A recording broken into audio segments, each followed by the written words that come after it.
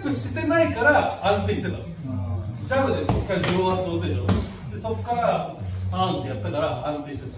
結局その時もステップしたのかなうんだってジャブでここでしょ？そう思ったら届かないからパーン。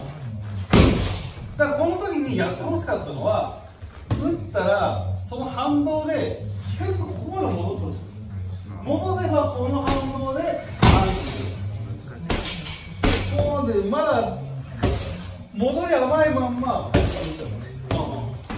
これをだ昨日のねディゼルから学ぶあれでも言ったように弾けば完全に戻ってくる。